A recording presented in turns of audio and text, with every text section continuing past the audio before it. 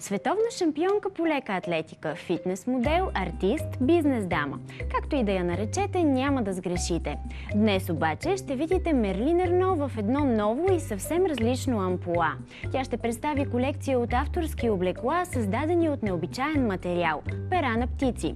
Мерлин е идеен дизайнер на линията, разработена съвместно с Тина Бачев.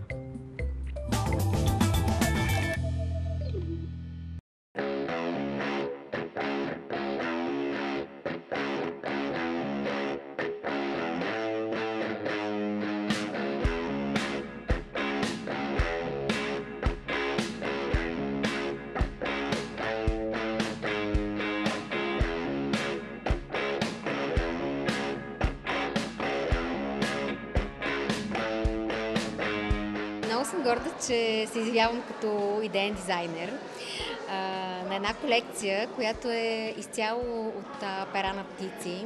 А, птици в линеещи им период, когато те сменят своите пера, ежегодно птиците сменят своите пера и нито една птица не е пострадала за моите костюми.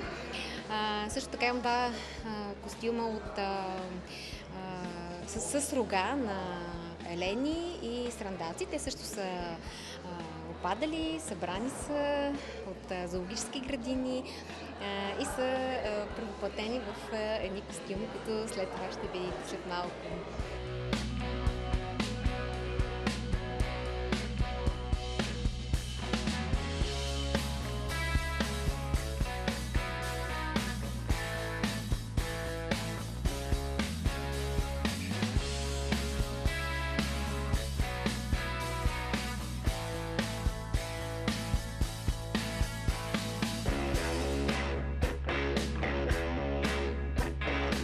Идеята дойде а, съвместно с а, дизайнерката Тина Бачев, а, а, с която а, работим от много отдавна. Тя шие много туалети за мен, а, с които съм се явявала на светски събития. В един такъв туалет съм и сега. А, и решихме заедно да сътвориме костюми изцяло от пера, защото сме виждали много а, костюми и рокли, в които присъстват а, а, пера, но нашите туалети са изцяло от пера. Това е по-скоро мода за коктейлни събития, за шоу-програми, състезания по бикини фитнес. С тези туалети едва ли може човек да се разхожда така свободно по улиците, тъй като са доста авангардни, доста нестандартни. Но пък и ние с нея сме така нестандартни авангардни личности. Смея да кажа висша мода. Да, висша мода. Това е висша мода. Това е само за ценители. Това е за хора, които искат да си доставят удоволствие за сетивата, за настроението си, за това да бъдат а, иноватори, да бъдат различни, да бъдат единствени. Защото сме да твърдя, че такива туалети няма. Но имаме а, един туалет, който е за а, вечерна сбирка, коктейл, една рокля от а, изцяло от а, пера на опашките на пълна. И а, това е нещо а, много финно и много ефирно, което наистина може да се носи а, така на коктейлни сбирки.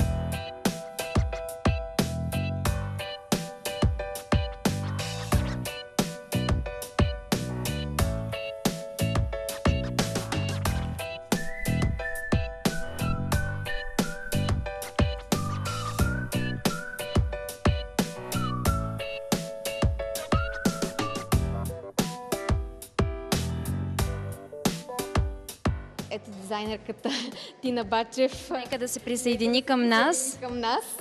Всяко перо трябва да се пробуде с игла два, три пъти, а това е твърде трудно. Сигурно сте така. Нека да видим какво още друго сте сътворили тук. А, ами ето, Ето това е, както каза Меглина, една твърде така официална, тук една малко стилна.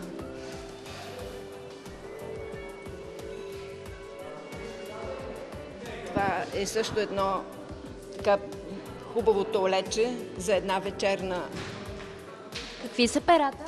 А, тук с месеца вече. Това са а, пера от а, а, петел, феникс. А, те са малки джинки, но с едни огромни опашки, които са до земята, около метър стига опашката им. А, това са а, вътрешната част на а, пера от а, гъска, а, черна гъска. А, тук имаме пера от а, паун, пак вътрешните. Това са от различни части на самата птица.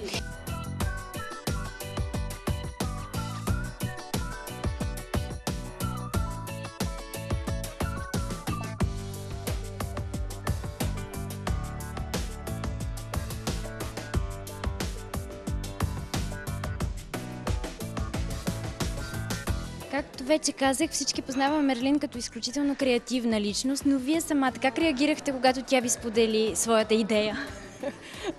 Нормално реагирах. Аз обичам да работя и обичам да творя някакви неща. И може би за това, като ми каза, започвам да си работя и това е. Нека да погледнем още някои неща, част от колекцията. Освен самите дрехи, виждам, че има и аксесуари към туалетите. Ето това ще Това бъде е като от коронка. а, златния фазан. Той също си сменя а, перата. Птица, която е изключително красива, но се оперява някъде в края на втората, на третата година. В началото са и мъжки и женския са с еднаква окраска. Както между впрочем и пълна мъжкия, той даже се оцветява на третата, четвъртата година.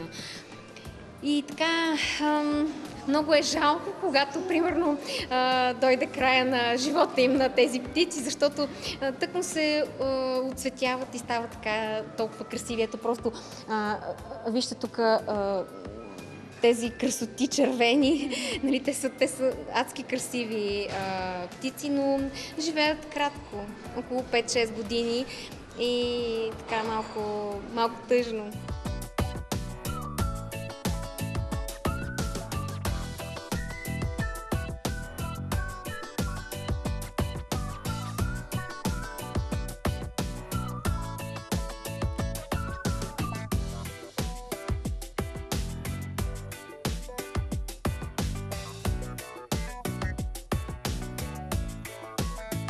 На финала, но не на последно място, нека да кажем, че цялата тази инициатива тази вечер е с благотворителна насока. Какво ще се случи с средствата събрани от събитието? Средствата от продадените костюми, от картините, които ще нарисува Иван Яхнаджиев днес на живо, също така имаме и благотворителна каса, ще отидат за закупуване на хранилки и къщички за дивите птици. Като инициативата ще стартира в а, парк Хисърлъка в Кюстендил в началото, има подкрепата на общината. И след това, надявам се, в доста големи градове, така, други централни градове в България. Като ние продължаваме да твориме с пера и приемаме поръчки за туалети.